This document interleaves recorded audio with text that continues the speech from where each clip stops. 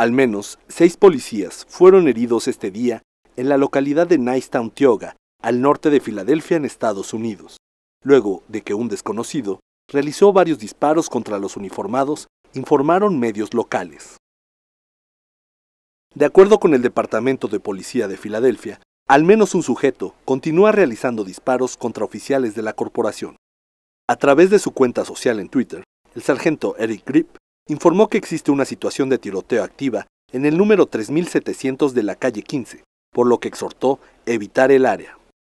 Los hechos iniciaron alrededor de las 16.30 hora local, luego de que la policía recibió varias llamadas desde la zona.